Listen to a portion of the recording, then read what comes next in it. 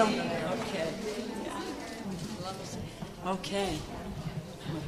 I cannot tell you how difficult it has been to break through on something so simple that men and women in the same job deserve the same pay. That's what this is about.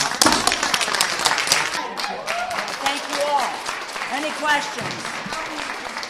We, we implicitly recognize as women that the pay gap and the wage gap is an injustice that persists through secrecy, and it's an injustice that persists to the present day. And the only way that we can combat that is through organizing in our personal action ourselves. So I'm so happy that, that the Paycheck Fairness Act addresses, among many things, two very critical ones. One is that we cannot ask for salary history and pay people depending on their salary history anymore. Anymore. Because it is time that we pay people what they are worth and not how little they are desperate enough to accept.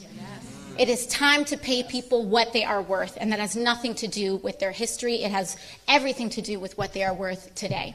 And the second thing is that it makes it, a, a, it makes it legal and it makes it totally permissible to share your salary information at your workplace. And that's incredibly important because for all of those who say that the wage gap does not exist and that it's a myth, then they should have no problem proving that. Thank you to the folks, the champions uh, on, the, on the riser here. I'm here on the 10th anniversary of the bill that bears my name, which allows the women their day in court, like I had mine, for equal pay for equal work.